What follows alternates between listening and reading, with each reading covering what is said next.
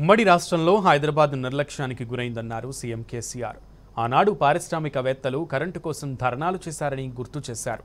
హైదరాబాద్ను పవర్ ఐలాండ్గా మార్చామని ముఖ్యమంత్రి స్పష్టం చేశారు. న్యూయార్క్లోనూ కరెంటు పోవచ్చు కానీ హైదరాబాద్లో కరెంటు పోదన్నారు. ఐదు వందల వరకు పెద్ద పెద్ద ఐటీ కంపెనీలు ఇక్కడ కొలువుదీరాయన్నారు. హైదరాబాద్లో నలభై యాభై అంతస్తుల భవనాలకు కూడా పర్మిషన్ ఇస్తున్నామని సీఎం కేసీఆర్ తెలిపారు. హైదరాబాద్ నగరం ఎంత గొప్పగా ముందుకు పోవన్నో పోలేదు. ఆంధ్రప్రదేశ్ రాష్ట్రంలో సమైక్య పాలకుల యొక్క నిర్లక్ష్యం వల్ల ఒక సమగ్రత అనేది లేకుండా చాలా విషయాలలో మనం బాధలు అనుభవించినాం. మాకు కరెంటు ఇవ్వండి మాకు సరిపోవడం లేదు మా వర్కర్స్ అంతా కూడా బాధపడతా ఉన్నారు. మీరు ఇవ్వలేకపోతే ఇవ్వలేమని చెప్పండి వేరే రాష్ట్రాలకు వెళ్ళిపోతాం అని ఇందిరా పార్కు దగ్గర పారిశ్రామికవేత్తలు కరెంటు డిమాండ్ చేస్తూ ధర్నాలు చేసిన సందర్భం మన కలార చూశాం. హైదరాబాద్లో ఏ బస్తీకి వెళ్ళినా ఏ మారుమూల ప్రాంతానికి వెళ్ళినా చాలా భయంకరమైనటువంటి మంచినీటి బాధలు మనం కళ్ళార చూసినాం అనుభవించినాం. శేరిలింగంపల్లి రాజేందర్ నగర్ ఇంకా అనేక ప్రాంతాలలో శివారు ప్రాంతాలలో మంచినీళ్ళు లేకపోవడం చాలా చాలా ఇబ్బందులు పడ్డాం.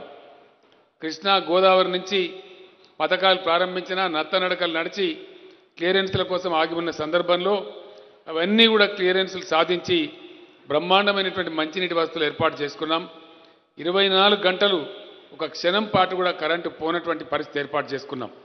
నేనే స్వయంగా పర్యవేక్షించి పట్టుబట్టి హైదరాబాదును పవర్ ఐలాండ్గా మార్చినాం. పవర్ ఐలాండ్ అంటే రాష్ట్రంలో ఉండేటువంటి అన్ని జనరేటింగ్ స్టేషన్లతోని స్టేట్ ఎలక్ట్రిసిటీ గ్రిడ్తోని అట్లాగే భారతదేశ ఎలక్ట్రిక్ గ్రిడ్తో నేషనల్ ఎలక్ట్రిక్ గ్రిడ్తో కూడా హైదరాబాద్ నగరం పవర్ సెక్టార్లో అనుసంధానం అయిపోయింది. అంటే ఒక మాటలో చెప్పాలంటే న్యూయార్క్ నగరంలో లండన్లో ప్యారిస్లో కరెంటు పోవచ్చు కానీ హైదరాబాద్లో మాత్రం కరెంటు పోదు పోదు పోదు అని మనవి చేస్తూ ఉన్నా. ఇటువంటి అద్భుతమైన నగరంగా మనం రూపుదాల్చుతున్నాం కాబట్టి చాలా గొప్ప ఇన్ఫర్మేషన్ టెక్నాలజీకి సంబంధించినటువంటి ఐదు వందల గొప్ప గొప్ప పరిశ్రమలు మన హైదరాబాద్లో కొలువు తీరుతున్నాయి అవన్నీ కూడా మీరు కల్లారా చూస్తూ ఉన్నారు. అదేవిధంగా పరిశ్రమల రంగంలో కూడా మనం ముందుకు దూసుకొని పోతూ ఉన్నాం. చాలా చాలా రకాలుగా ఎస్ఆర్డిపి కింద కానీ ఫ్లైఓవర్లు కానీ అండర్ పాస్లు కానీ ట్రాఫిక్ కష్టాలు కూడా తీర్చుకుంటూ ఉన్నాం. హైదరాబాద్లో నలభై అంతస్తులు అరవై అంతస్తుల ఆకాశ హర్మ్యాలకు అద్భుతంగా పర్మిషన్లు ఇవ్వడం జరుగుతూ ఉంది.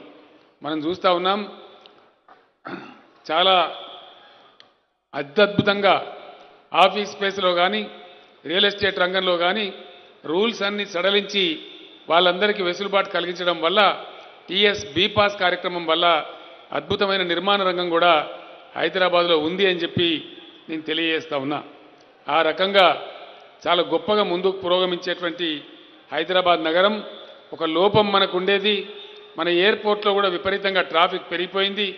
ఆ పెరిగినటువంటి ట్రాఫిక్ అనుకూలంగా రెండవ రన్వే కూడా శంషాబాద్ ఎయిర్పోర్ట్లో వస్తూ ఉంది.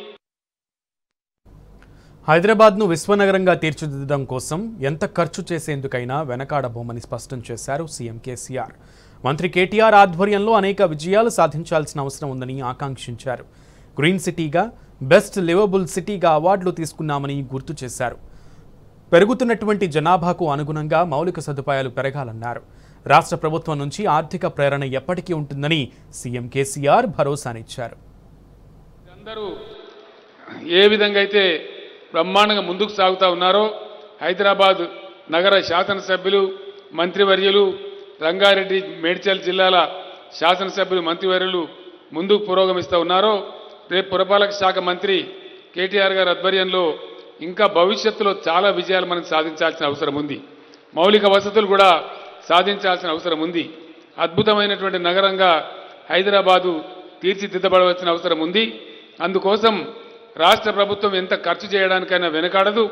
విశ్వ నగరంగా ప్రపంచంలో ఒక అద్భుతమైనటువంటి నగరంగా ఇప్పటికే పేరు ప్రఖ్యాతులున్నటువంటి హైదరాబాద్ నగరాన్ని మరింత తీర్చిదిద్దడానికి ప్రపంచమే అబ్బురపడే విధంగా పచ్చదనంతో కలకల్లాడే విధంగా ముందుకు తీసుకొని పోవాలని మీ అందరినీ కోరుతా ఉన్నా. నేను మీ అందరిని కోరేది కూడా ఒకటే. భూమి మీద హీట్ పెరిగిపోతా ఉంది. మన జిహెచ్ఎంసీ కమిషనర్ గారిని హెచ్ఎండిఏ వారిని చీఫ్ సెక్రటరీ గారిని మీ అందరినీ కూడా ప్రత్యేకించి అభినందిస్తా ఉన్నా. Green city world green city best award కూడా మనకే రావడం జరిగింది. బెస్ట్ లివబుల్ సిటీ అని మెస్సర్స్ అవార్డు కూడా మనకే రావడం జరిగింది. ఇంకా ఎన్నో ఎన్నో అవార్డులు మన హైదరాబాద్ సొంతమైనాయి. మిత్రుడు రామారావుతో ఈ నగర నాయకులతో నేను ఒకటే మాట మనవి చేస్తా ఉన్నా. మనం ఎంత చేసినా ఇంకా తక్కువనే. హైదరాబాద్లో బతకడానికి వచ్చేవాళ్ళు బతుకు బాగుందని తెలిసి వచ్చేవాళ్ళు చాలామంది లక్షల సంఖ్యలో ప్రతి సంవత్సరం హైదరాబాద్ జనాభాను పెంచుతూ ఉన్నారు. దానికి తగు రీతిలో మురుగునీటి సదుపాయం కానీ మంచినీటి లైన్ల సదుపాయం కానీ మనకు ఆఫీసులు పెరుగుతున్నాయి. ఆఫీస్ స్పేస్ పెరుగుతున్నది.